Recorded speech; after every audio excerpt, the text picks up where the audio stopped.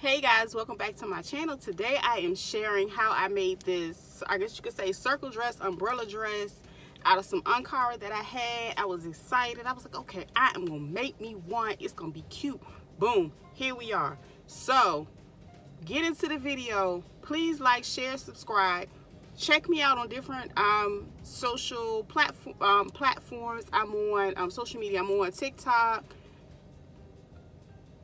if I'm not mistaken, everything is TVL designs all across the board. All right, let's get into it.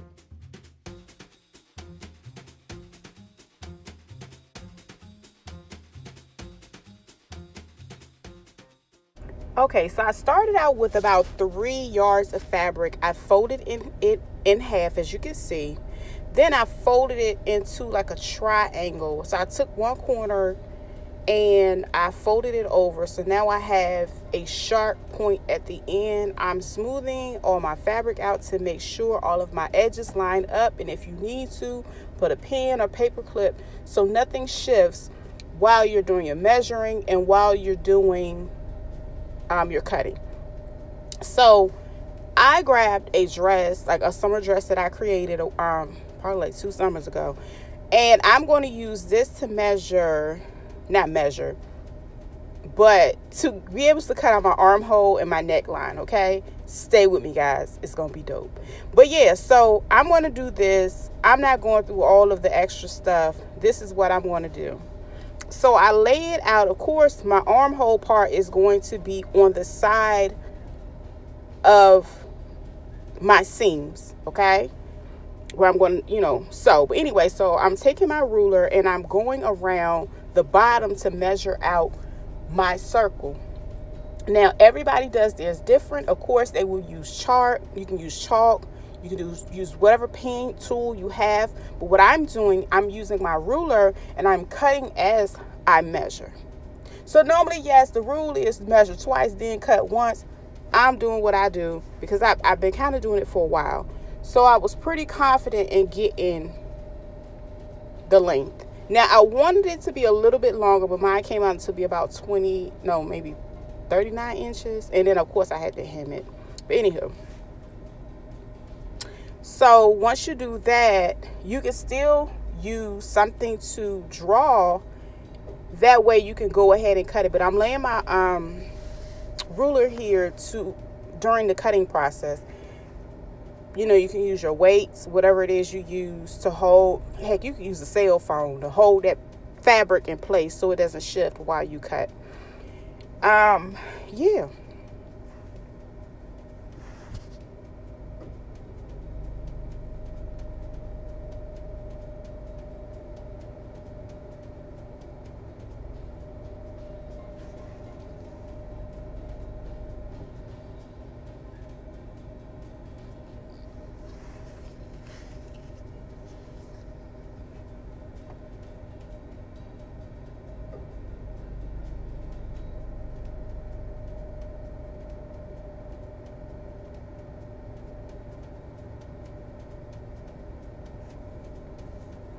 And as I cut my neckline, I was debating whether how you know how long I wanted it to come down, but I just went ahead and cut it similar to the dress that I already had.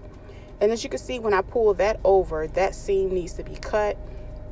Well, the side of the fabric needs to be cut because I want to use that to add my pocket and plus I have to sew it down on both sides.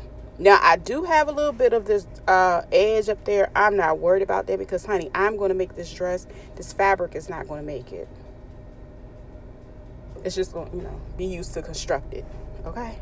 Anyway, so this is the shape of it pulled out. But anyway, what I'm going to do now, I'm going to show you how I add my um, pockets. Um, Okay. So I measured down seven inches. I took a uh, um, clip to hold that spot for me because I didn't want to miss. I didn't want to lose it. And then I got my pocket pieces that I just basically created from drawing a circle around my hand. And I'm going to lay them good sides facing one another. Yes, it's going to be on the inside, but that's just my preference when it comes to doing my pockets.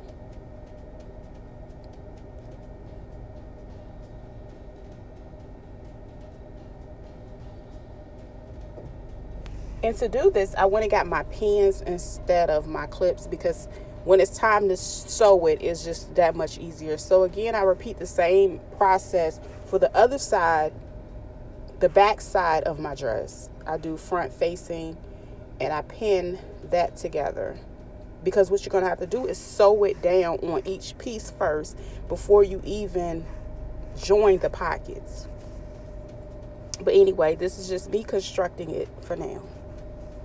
And I'm going to repeat the same thing on the other side. But before I go to the other side, I like to go ahead and clip the rest of the side of the dress down using my um, clips or either pins. That way I don't have to worry about shifting when I go and measure and do everything on the other side. So again, we're on the other side and I'm going to repeat this step.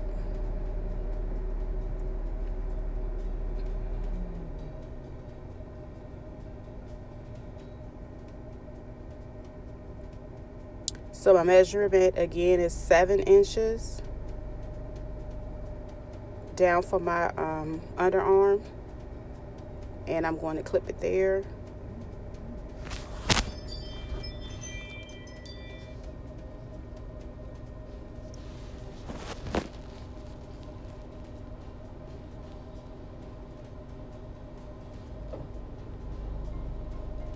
And I'm going to pin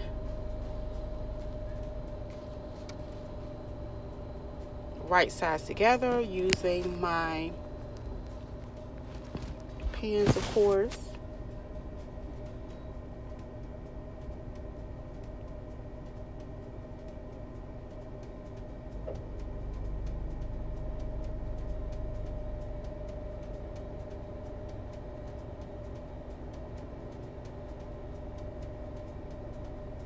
And then I'm going to add my clips to hold everything else in place.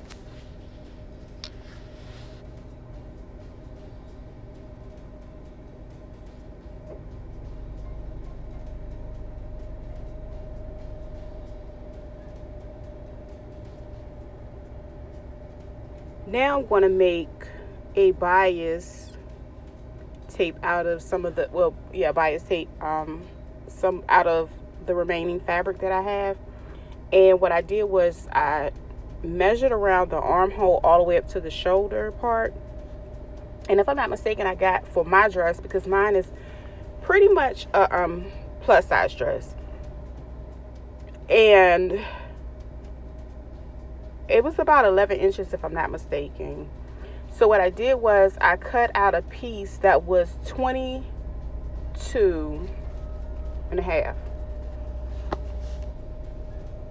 And as you can see, I've already cut it out. And this is how it will be folded. Folded in twice and then fold it over. And then we're gonna, yeah. Anyway, so what I'm going to do is fold this one in half for right now and I'm going to cut my second one. The purpose of me doing this is because for my armholes I wanted to match up the pattern to make sure both of my armholes has the blue and yellow part. Now my neck is going to be a different um it's going to be the other uh, blocks to this fabric. So I folded those in half and I cut them to make sure that they're the same size for my armhole my arm bias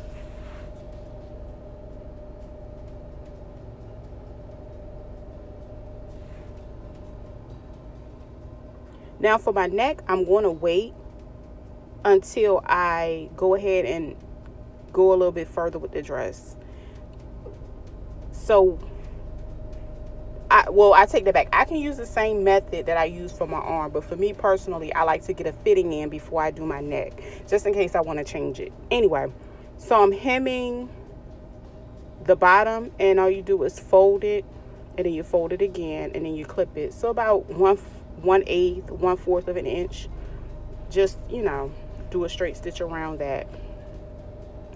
And as you can see, this is my neck and like I said I use a different color block and I use the same method. Um, that's my arm. You can see that is the blue and yellow. And this is my pockets. And basically everything has been sewn together. And yeah this is basically my dress here. And I'm showing it to you inside out. Now you can also go back and like serge use your serger to do a little bit you know clean up work. But this one I might just keep the way it is because I like it. And yeah that's the end of the video guys pretty much. I hope you guys enjoyed this video. Please don't forget to like share subscribe and I'll see you guys again in the next video. And of course at the end I'm going to share my me in the dress again. All right? Peace